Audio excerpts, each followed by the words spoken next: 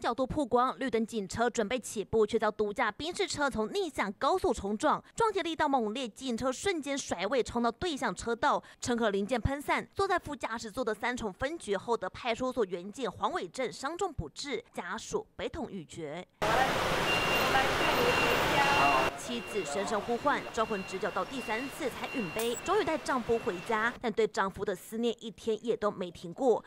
在脸书上难过发文，儿子刚在电话中和爸爸聊外星人和恐龙，没想到凌晨来通电话，无法承受的噩耗，还来不及痛彻心扉，和儿子约好周末的出游计划，永远都不会成型了。如今剩下我们孤儿寡女，孤苦无依，同时也澄清没有要利用本次案件募款，因接获各界善心人士机关表示想捐款协助。文章最后留下个人的邮局账号，却引发网友热议，甚至有人怀疑会不会是诈骗。本件是被害人家属希望大家捐款给他，这样的行为是不需要申请许可，但是其他人捐款给他，仍然是属于赠与，依法是要缴交赠与税的。家属行为并非触法，对于掀起不少争议，实情妻子再次发文泪叹：“我从来都没有想到利用任何人、任何事。有些人觉得我利用你的时候，我很难受。如果可以换你回来，我跟儿子身。”边我什么都换。经了解，家里经济全靠黄伟珍一人撑起，如今却被有心人士恶意批判，简直对家属而言根本是二度伤害。社会局将协助家属申请意外致死救助金。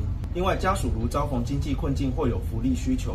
本府社会局将由社工提供关怀及协助。依政府规定，恐怕环卫正员警的离世只能以因公死亡来呈报，依薪资去算，一次金为一点二五倍，月退俸则是十五年。只是抚恤金要下来，旷日费时，短时间内家属还是需要帮助。记者杨杰、杜轩新北市报道。